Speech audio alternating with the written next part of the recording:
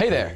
Next week, BVN Broadcast will be giving away two free tickets to the Ed Sheeran concert next Saturday to one lucky Blue Valley North student, and entering to win could not be easier. All you have to do is follow two simple steps.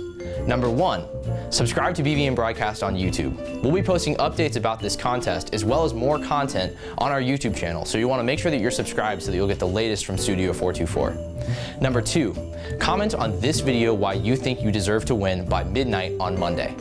On Tuesday, BVN Broadcast staff will decide who wins based on the most creative comment.